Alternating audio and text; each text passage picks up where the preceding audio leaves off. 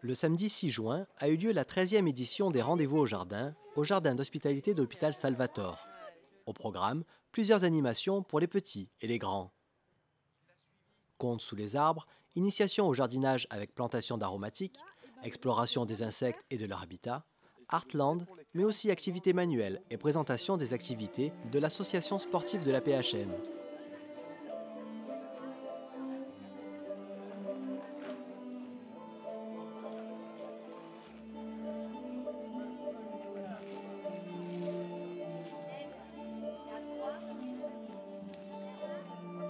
Cette journée est aussi l'occasion pour le personnel de la PHM de se retrouver dans un lieu propice à la détente afin de partager un moment convivial.